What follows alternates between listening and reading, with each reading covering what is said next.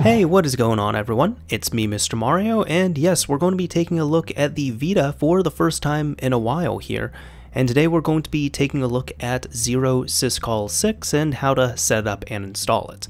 Now in case you do not know, Zero Syscall 6 is a plugin which allows your Vita in short to play higher firmware DLC, games, and all that fun stuff while not having to update your firmware. So for example, I currently have a 3.60 firmware PlayStation TV, and I don't want to update it, but I want to play some of the latest games that are out and some other stuff that's in my collection. Now I have made a very similar video to this for the ReFood plugin, However, it's now recommended to use Zero Syscall 6 because, well, it's better than ReFood.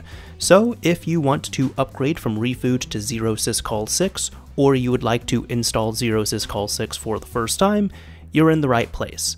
First of all, you are going to need your PlayStation TV, Vita TV, or PlayStation Vita.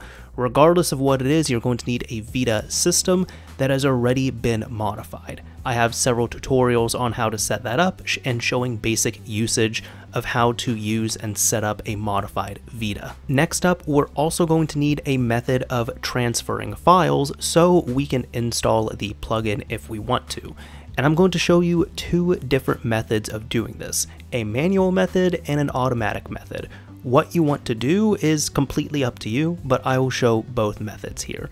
The first one is going to be the manual method, in which we're going to download the plugin file on our computer and transfer it over to our Vita. So with that, you'll need a method of accessing your Vita either through USB or FTP, and you're going to need a PC nearby.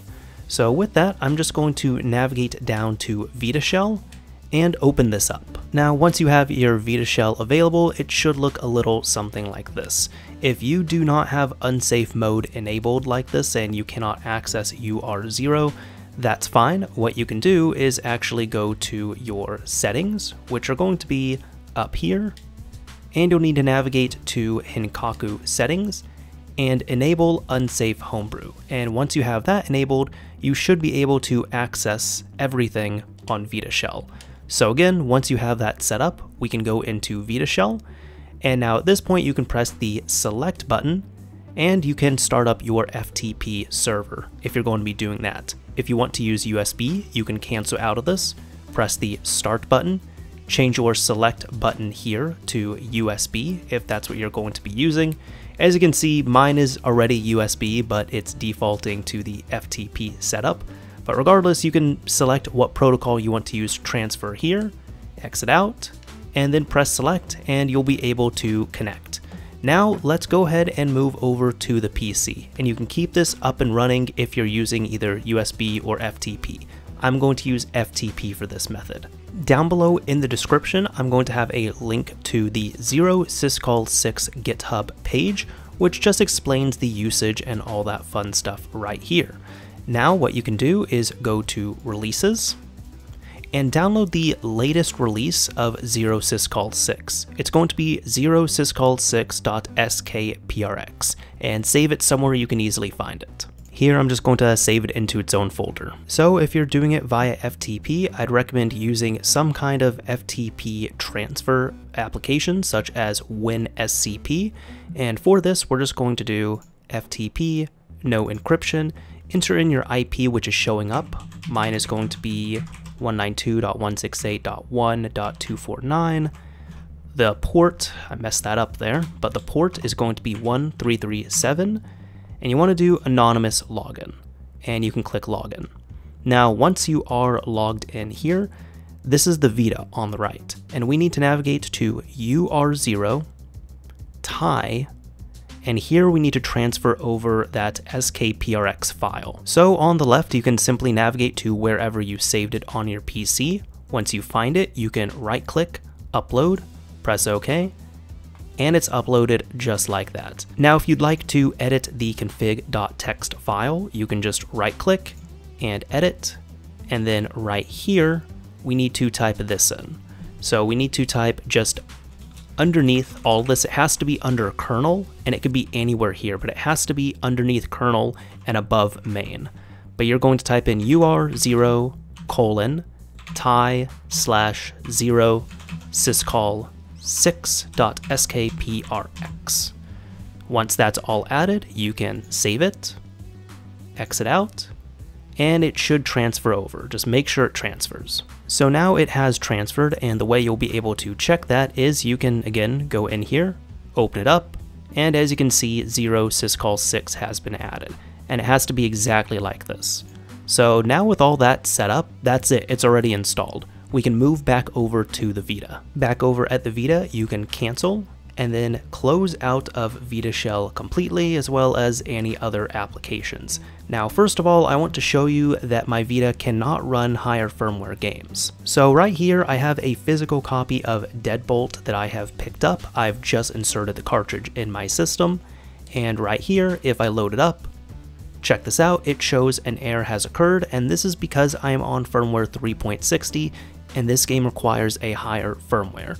Well, now that we have 0 syscall 6 set up, we can close out of this, turn off the Vita, and turn it back on. So once our Vita has restarted, I already have HENkaku Ensō set up, so everything is set up right off the get-go when we turn on the system, but I still have the cartridge in, and if I go into Deadbolt, check this out, it's loading up, there doesn't seem to be an error, and after a few seconds here, the game is booting up. This doesn't just have to be cartridge-based games, this can be any games you have installed digitally, any games you have physically, and of course, you know, any games that are either purchased through PlayStation Network, or you might have backups of them installed thanks to no NP DRM but as you can see the game is working just fine. As a heads up here, another method of editing that configuration file is going into UR0 going into tai, and this is all on Vita Shell.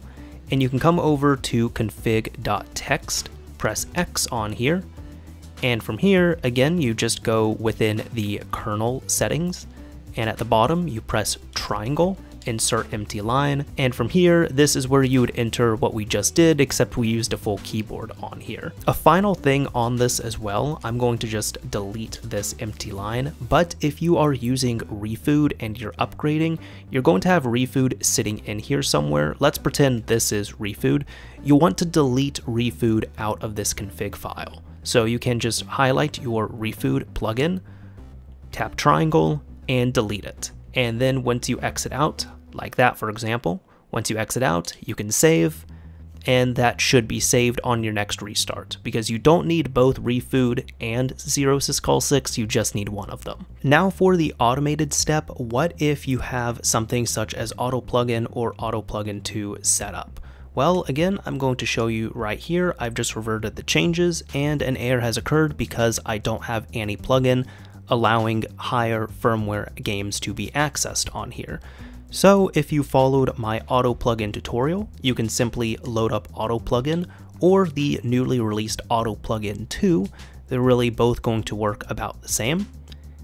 And once you fire this up, newer versions of auto plugin and of course auto plugin 2 contain zero syscall 6.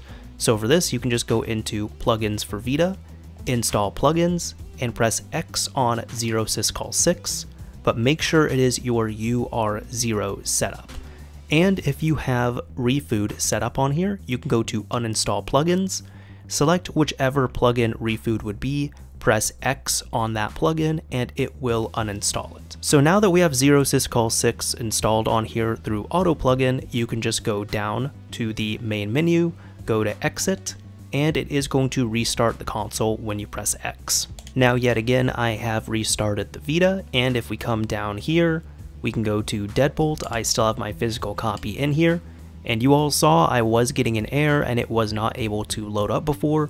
We've just gotten past the splash screen there so it was able to boot up without an error and the game is running just fine meaning that our plugin install worked. So there we go, Zero Syscall 6 is installed and working on the system, the successor to Refood.